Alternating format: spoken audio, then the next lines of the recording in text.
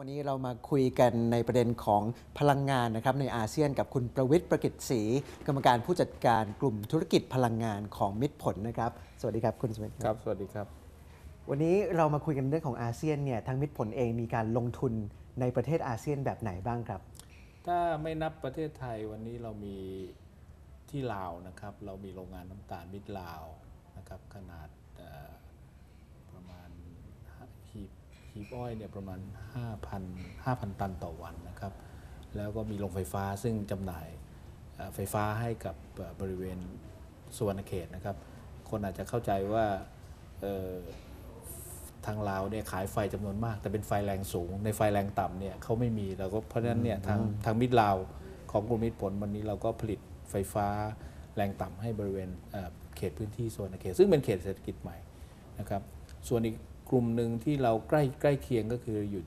เรามีโรงงานเอทานอลซึ่งร่วมทุนกับไทยออยล์แล้วก็พาแดงนะครับห่างจากเขตเอ่อเอ่อชายแดนพม่า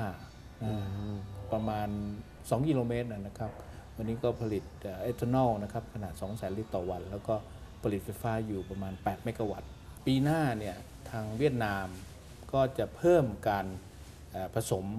แก๊สเอทานอลลงในน้ำมันเบนซินเนี่ยประมาณ 5%นะครับมีการกำหนดเป็นกฎหมาย ในฟิลิปปินส์เนี่ยปีหน้าปีปีเดือนเดือนพฤศจิกาเนี่ยจะเพิ่มการผสมเอทานอลเนี่ยอีกเป็น 5 5%เป็น10%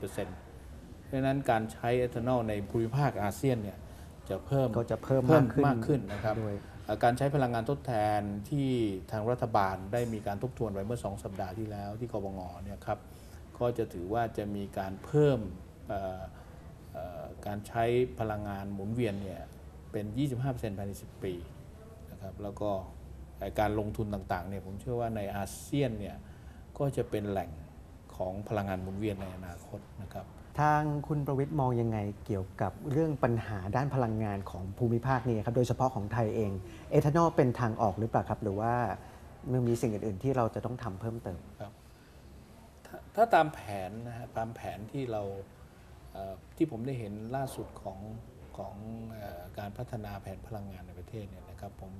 คิดว่าถ้าถ้าเราทำได้ตามแผนนั้นเนี่ยนะฮะประเทศไทยก็ถือว่าจะเป็นหนึ่งในศูนย์กลางผมคงไม่อยากจะใช้คำว่าฮับเพราะว่า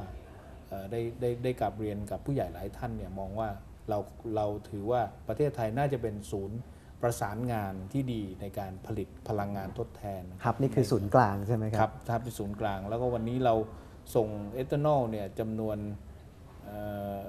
มากกว่ามากกว่า 200 ล้านลิตรนะครับเข้าไปในตลาดที่ที่ฟิลิปปินส์แล้วครับเอ่อฟิลิปปินส์เองเขาก็พยายามที่จะเพิ่มกำลังการผลิตภายในของเขาแต่วันนี้ยังไม่พอแล้วก็ต้องนำเข้าจากหลายประเทศ ก็คิดว่าไอ้เอทานอลเนี่ยเอ่อจากปริมาณอ้อยที่เพิ่มมากขึ้นเนี่ยเราก็มีโอกาสที่จะขยายกำลังการผลิตเพิ่มขึ้นนะฮะทั้งที่ในตลาดฟิลิปปินส์เอง แล้วก็ในตลาดที่เป็นเกาหลีไต้หวันกับจีนนะครับเอ่อ แล้วก็ญี่ปุ่นด้วยนะฮะจะมีกลุ่มนี้ที่เป็นเอทานอลที่อาจจะเพิ่มขึ้นครับแล้วก็การผลิตด้านของเออส่วนของการพัฒนาพื้นที่ที่กัมพูชาที่มีโอกาสที่จะผลิตได้ทั้งอ้อย แล้วก็ทั้งเอ่อมันสำปะหลังนะครับ มันสำปะหลังวันนี้เราก็กำลังศึกษาอยู่ว่าเราจะสามารถทำมันสำปะหลังเนี่ยให้เป็นออกในรูปของทั้งอาหารและพลังงานพร้อม ๆ กัน ก็ภายใน 2015 เนี่ยเอ่อเราน่าจะมีเอ่อผลิตภัณฑ์ที่เป็นทั้งอาหารและพลังงานเนี่ย อ่าอยู่ในเอ่อเอ่อประชาคมอาเซียนเนี่ยได้เพิ่มมากขึ้นนะฮะครับก็คิดว่าการเติบโตที่เกิดขึ้นก็น่าจะเป็นเอ่อจุดที่ทำให้มิตรผลเองอยู่ในในผู้ผลิตทั้งอาหารและพลังงานของอาเซียนได้ครับยังไงวันนี้ก็ขอบคุณคุณประวิทย์มากนะครับ ที่มานั่งให้ข้อมูลกับพวกเรานะครับครับสวัสดีครับ ขอบคุณสวัสคดีรับครับ